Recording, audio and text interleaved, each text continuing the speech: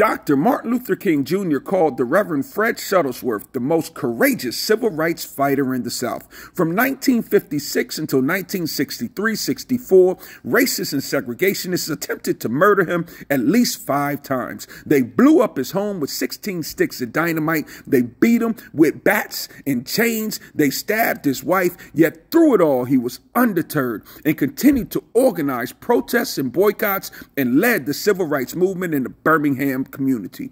Today, we honor the Reverend Fred Shuttlesworth.